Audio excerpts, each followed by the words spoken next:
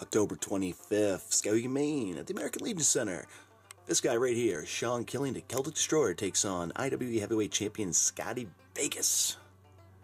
Now, Scotty, you probably think walking into this match is it's going to be a cakewalk. Real easy peasy, right? And hell, the front office has a little faith in me. They can't even give me a cameraman to film this damn promo. But Scotty, let me explain something to you. Let me make one thing perfectly clear. I am one persistent bastard. A man has broken his spine. Come back from that. Spent three years of my life over in Iraq.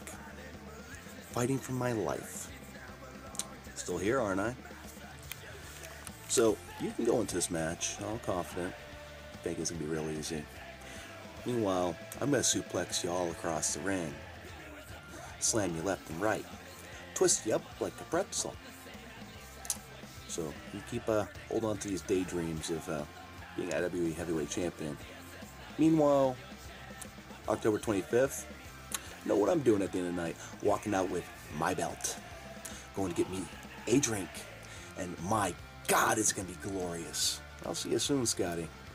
You have a good one.